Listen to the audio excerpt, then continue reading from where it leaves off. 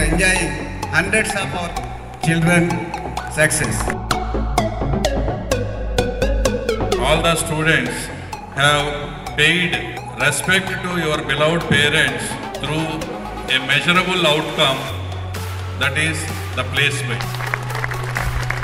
Our students are always best in academics. Our students are always best in discipline. Our students are always best in placements also.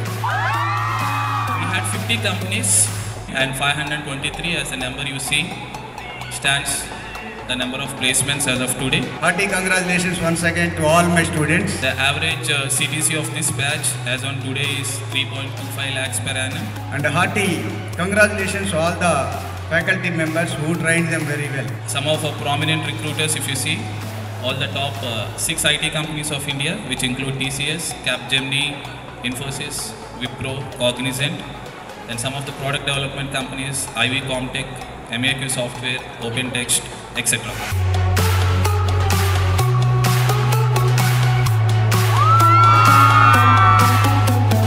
Introducing the chief guest, India so very proud.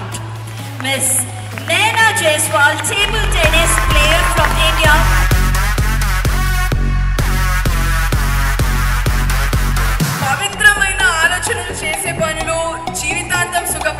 చేస్తాయి. So అటువంటి మంచి ఆలోచనతో ప్రారంభమైన ఈ ప్రగతి college ఓ నూతన సంస్కృతికి శ్రీకారం చుట్టింది. మనము ఎంత చదవమన్నది ముఖ్యం కాదు. ఆ చదువు మనకు ఎంత సంస్కారం నేర్పినది ముఖ్యము.